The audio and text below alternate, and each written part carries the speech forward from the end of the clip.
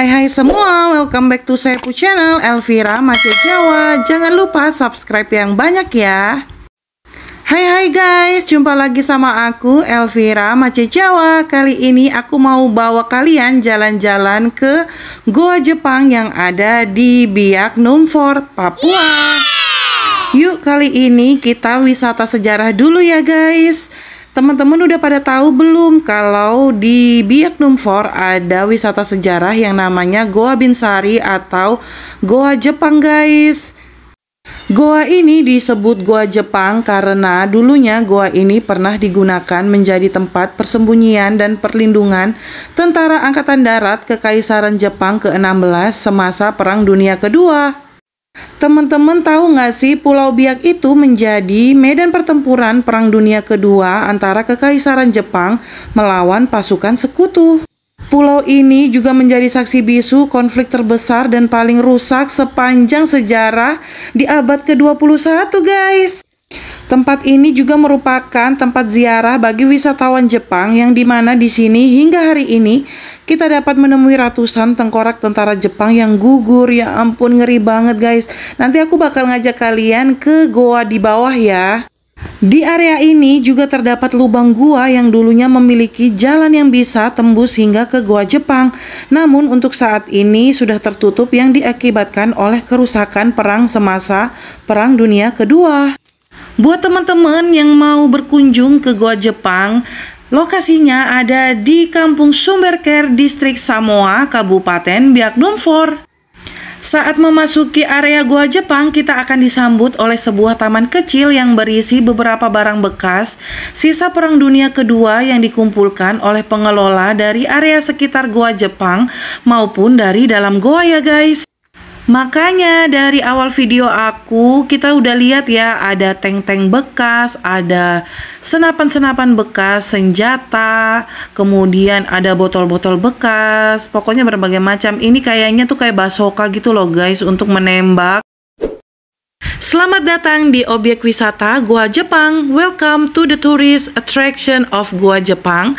Gua Jepang no Kanko Supoto e Yokoso. Itu dia tiga bahasa dari bahasa Indonesia, kemudian bahasa Inggris dan juga bahasa Jepang. Jujur Li, aku seneng banget bisa berkunjung ke wisata sejarah ini ya guys. Dulu aku pernah bekerja sebagai penggiat budaya dari Kementerian Pendidikan dan juga Kebudayaan. Dulu kami sering berpetualang ke daerah ini dan juga mengambil data-data kebudayaan ya guys. Cuma dulu itu aku belum pernah menyusuri jalan sampai ke goanya itu.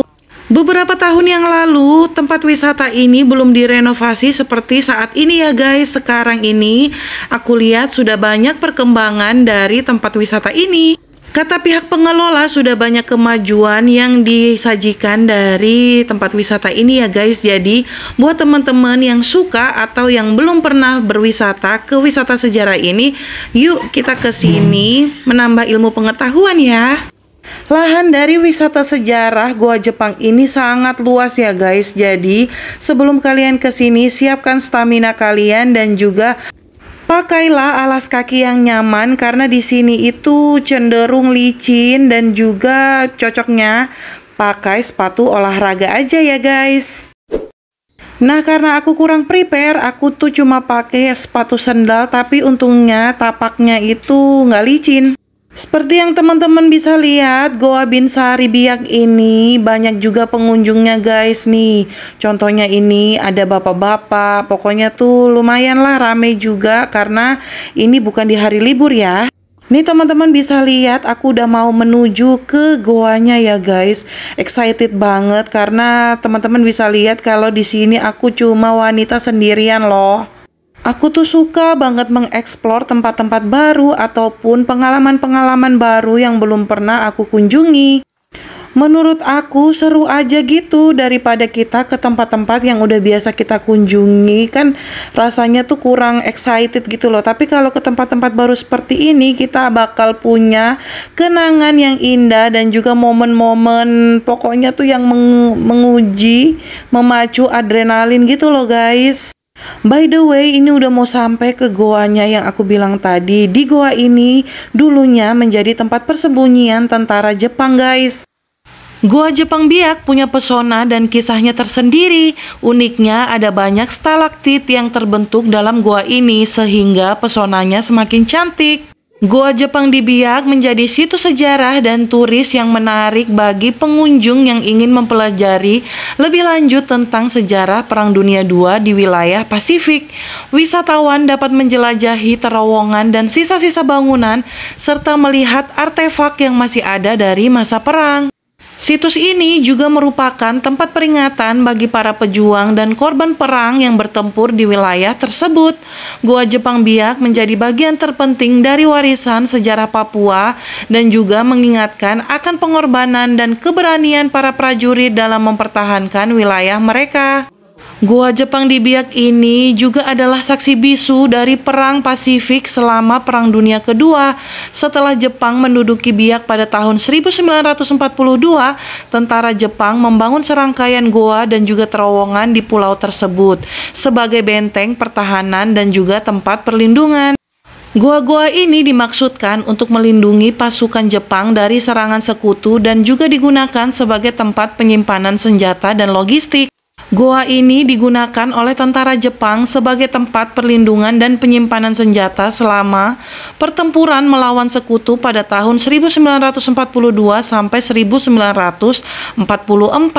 Dikenal juga sebagai Biak War Headquarters, goa ini memiliki jaringan terowongan yang kompleks dan mencakup sekitar 2 km persegi di bawah tanah. Teman-teman bisa lihat ini aku menuju ke bawah tanahnya itu guys. Pada tahun 1944, Sekutu meluncurkan serangan besar-besaran untuk merebut Biak dari Jepang dalam operasi Horlicks. Pertempuran berlangsung selama beberapa minggu dengan pertempuran sengit terjadi di sekitar gua Jepang ini. Pada akhirnya, Biak direbut oleh Sekutu pada bulan Juni 1944 setelah pertempuran yang berat. Setelah perang usai, banyak goa dan terowongan yang dibangun Jepang di Biak masih berdiri menjadi saksi sejarah dari masa lalu yang suram. Sekarang beberapa di antaranya telah diubah menjadi situs bersejarah yang bisa dikunjungi wisatawan kayak yang aku kunjungi sekarang ini ya guys.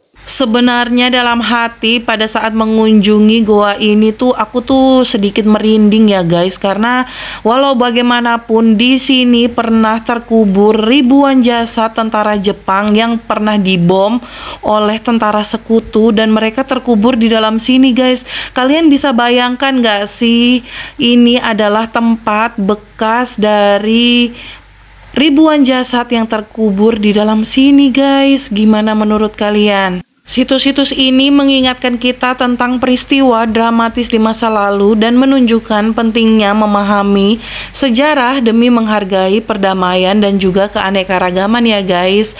By the way, ini gelap banget ya karena memang tidak ada penerangan sama sekali. Di sini hanya mengandalkan penerangan alami dari luar goa ya guys. Jadi kalian bisa bayangin gak sih kalau misalnya malam-malam kita berkunjung ke sini apa yang terjadi guys?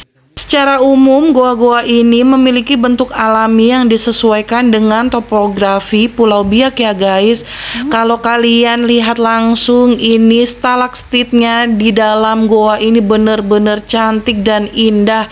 Masya Allah, ternyata keindahan alam yang ada di goa ini tuh benar-benar luar biasa. Kalau dari rekaman aku video ini mungkin nggak terlalu kelihatan ya, tapi kalau kalian melihat langsung kalian akan benar-benar benar takjub melihat keindahan alami dari goa Jepang ini guys. Kalian harus ke sini.